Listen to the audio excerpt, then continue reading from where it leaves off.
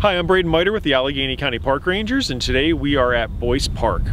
We're going to take you on a little tour around the park to see some different things that are either blooming or still have leaves from last year, or just unique sights that you can find this time of year. To start, we're here with an American redbud tree. This is a really cool tree. They're beautiful. They're often planted in landscape settings like we're in right now. Um, you can see this one's still a pretty young tree. It's being protected by this bark guard here against the deer that are gonna come out and start rubbing their antlers um, to try and get the velvet off a little bit later in the year. Uh, but these trees are called red buds for a pretty obvious reason. They have red flowers that are just starting to pop out here from the buds. Um, they will become full bloom as we get into April, uh, and they're very easy to spot right now with everything else, uh, the other flowering trees not quite going yet, um, and all the leaves down. So you'll be able to spot these either in a landscape setting or in the forest from pretty far away with their bright pinkish um, to almost purple flowers on them. So this is our um, first thing we're gonna check out today, and you can follow me as we head out through the park to find some more stuff to see. We stopped at the Carpenter Log House to check out a different tree species now. Uh, behind me is the Carpenter Log House, which is a log house circa early 1800s. You can actually come here in the summertime on Sundays and check it out, and they'd be happy to show you around. But the reason that we stopped here today was to look at the sweet gum trees and their seed pods. So what I'm holding in my hands right here are the seed pods from the sweet gum tree. The sweet gum, which you can see planted along the roadway here behind me and off to our sides, is not a native species to Pennsylvania. It's from the southeastern United States, but it was brought all over the country and planted in landscapes like this, primarily because of its very beautiful uh, bright crimson red leaves in the fall. So it's a really pretty tree. You can find it all over the place. And one of the most easy ways to identify it, especially when it doesn't have leaves on it, are finding the seed pods scattered about all over the ground. And you can see all around us here, there are seed pods everywhere. There's still a few up in the branches. These develop uh, throughout the summer and then into the fall. They pop open, and when they do, there are, uh, basically the seed pods are made up of an aggregate of two-celled capsules that are all over this thing that kind of make a spiky cluster and they're actually pretty hard and they'd be kind of uncomfortable if you stepped on them in your bare feet. Um, but we'll take a look at the inside of one so you can see. Here we have a seed pod that we have split in two and you can see each of the little capsules inside that would contain one or two of the seeds and also the granular material. And when all of those capsules are put together in a sphere, they kind of end up making this spiky ball that hangs from the trees. But it's a really unique plant uh, with this neat seed pod on it, and you can find it throughout all of the Allegheny County parks.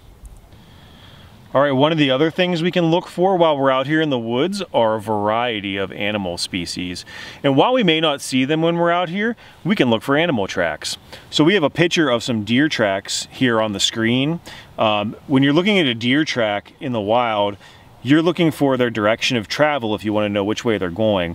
And they've got these two little nubs in the back and the points in the front, so they're traveling towards the point of the hoof.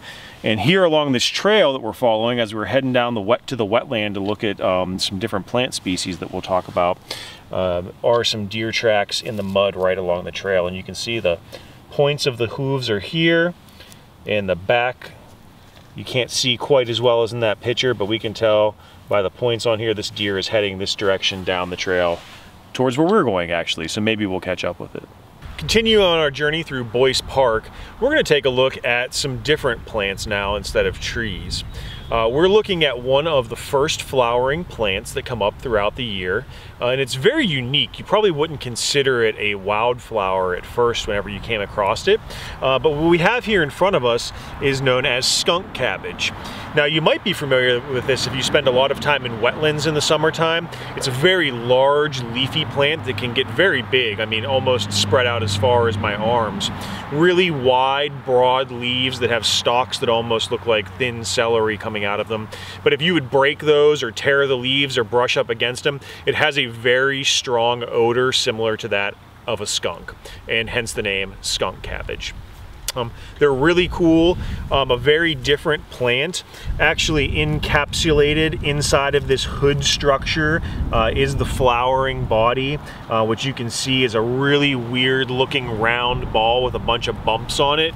Uh, it almost kind of looks similar to the sweet gum uh, seed pod. Uh, but this is the flowering structure of the plant here. Uh, and the other really cool thing about them that's very unique from many other plants is they are actually endothermic. So they can create their own heat. Now this year we haven't seen much snow, but if we had a snowy spring uh, and you came out here when these um, skunk cabbages were first sprouting out of the ground, they will produce enough heat to actually melt the snow around them to allow them to get a head start on the other plants uh, that are in the area. So it's a really cool feature uh, to come and check out right now. You can find these in almost any wet marshy areas down by the stream. So when you come out in the parks, um, come check out the wetland areas or the stream sides and see if you can find some skunk cabbage. Now these won't be around for very much longer. Uh, they'll start to wilt and fade away and we can already see some that are starting to deteriorate here and have leaves that are starting to pop up. So don't waste your time on these ones. Our next stop is to check out this cool little grove of young American beech trees. Now the thing that I think is really neat about the young American beeches that we have here is a lot of them retain their leaves through the springtime uh, until the new leaves start to sprout out and um, you know push these off the tree. Uh, beech trees are a pretty popular tree in our woodlands. Uh, you can see they have a very smooth gray bark as young trees and as they mature they keep that very smooth bark and they're pretty easily identifiable. Uh, they're a great food source for animals. They produce beech nuts, uh, which are little small round nuts about that big, uh, and they're also edible by humans. Uh, so you can find these again throughout all of our parks. And this time of year when all the other leaves don't have, all the other trees don't have leaves on them, these are easily identifiable from far away. Even when you're driving down the road, you can see these almost paper white beech leaves from a distance. We do want to make sure you are aware of one thing while you're out exploring the parks right now.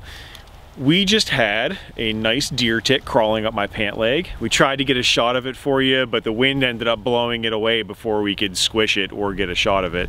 So be aware, it is tick season. Use bug spray with DEET on it. Make sure you're spraying around your openings on your clothing, around your waist, your sleeves, and your pants. And make sure you do a good tick check when you get home. And if you do find a uh, tick that's embedded on you, you can talk to your doctor about whether you need to get tested or not.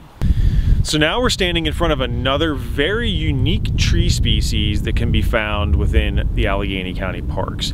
This tree can actually be found all over, uh, but it wasn't that way until several decades ago. The tree behind me that we're looking at is the Dawn Redwood tree. Now I know what you're probably thinking, a redwood, that's a conifer and it should have green needles all over it right now, right? Well, not this one. The Dawn Redwood tree is actually a type of conifer that loses its needles in the wintertime and regrows them every year. Uh, so a lot of people can think that this tree that we're looking at behind us is actually dead. Uh, but you can see uh, all the little pine cones all over it. Uh, it's doing quite well uh, and come springtime it will have needles all over it again.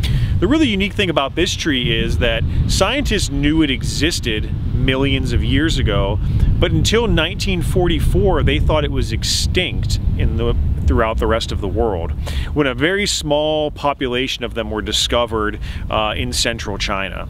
After that, uh, seeds were collected and it was uh, studied and then dispersed throughout the world. And now you can find them just about everywhere. Uh, one of the unique ways to identify them is like their cousin redwood trees, uh, the, the giant redwoods that we find in California. These grow up to 100 and over 165 feet tall. So they are massive trees. This one you can see behind me right now, uh, it's probably about 20, 25 feet tall. Uh, so it's still pretty young, but you can find these all around Allegheny County. Um, they have a very standard uh, conical, very typical pine tree shape. So they're easy to identify, especially this time of year when you see uh, 75, 100 foot tall pine tree that doesn't have any needles on it, but has kind of that perfect pine tree shape to it. So take a look for these while you're driving around or if you're walking in our parks. Uh, they're pretty easy to spot and they're actually all around us. Another easy identifiable plant this time of year, even though it doesn't have any leaves, or probably because it doesn't have any berries, which you know it for, uh, is our black raspberry. You can see in this bramble of bushes here, um, otherwise known as jagger bushes for the local folks watching, um, you can see this purple tinted uh, bush here uh, with the little thorns all over it, so be careful um, because they will stick in your finger. Uh, but we've got a very purple dark purple skin under this kind of light purple, almost bluish powder that's on the surface that you can kind of just wipe right off. But these are standing out very obvious right now. So you can kind of go around and do your scouting for where you want to come pick and eat some raspberries and later in the year. Thanks for joining us in exploring Boyce Park today. We hope you can get out and enjoy the rest of the Allegheny County parks in the near future. Uh, it's a great place to see new and exciting things, especially in the springtime when everything is changing. Over the next few weeks, new flowers are going to be sprouting every day. The trees are going to start to leaf out. So it's a great time to come out in the parks and explore. And see if you can come out and find all the different things that we talked about today. And if you come out and you find some other really cool stuff uh, and you want to know what it is, or maybe you just want to tell us about the cool things that you found, you can go ahead and put it in the comments below this video.